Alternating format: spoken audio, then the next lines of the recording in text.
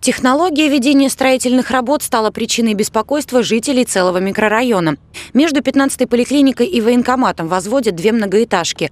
Все бы ничего, но вот опираться будущие здания будут на бетонную подушку. Дело в том, что местность тут болотистая, и в 76 году, рассказывают жители, их дома возводились на сваях. Теперь опасаются, что под давлением бетонной подушки вода из-под новостроек хлынет к их домам. Последствия могут быть самыми непредсказуемыми.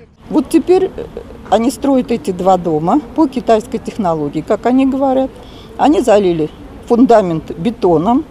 Насколько я понимаю в этом, что все болото, оно пойдет все в разные стороны, потому что они довольно глубоко вырыли, залили бетоном.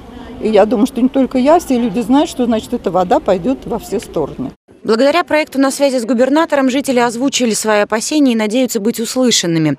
Получить ответы на свои вопросы, в том числе касаемо благоустройства дворовых территорий. Во главе угла разбивка полисадников, уборка придомовой территории, опиловка деревьев и строительство детских площадок. Контроль за тем, чтобы работы проводились в срок, и осуществляет общественный совет микрорайона. Дом выиграл программу «Двор», в котором мы живем. В данный момент там ведется реконструкция двора, то есть обустройство полностью дворовой территории, замена освещения, а, укладка асфальтового покрытия нового, то есть, ну, соответственно, благоустройство сцены и калды для игры детей в хоккей, то есть зимний период времени. Аналогичные работы до конца лета проведут еще по двум адресам – Старозагора 56 и 64.